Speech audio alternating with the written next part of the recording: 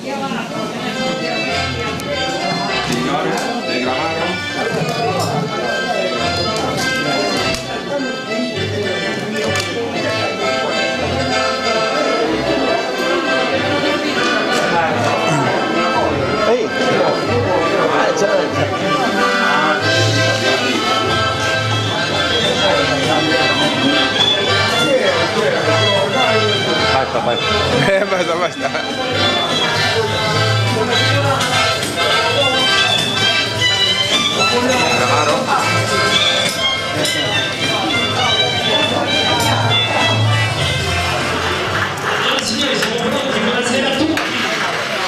dos canetos de moho.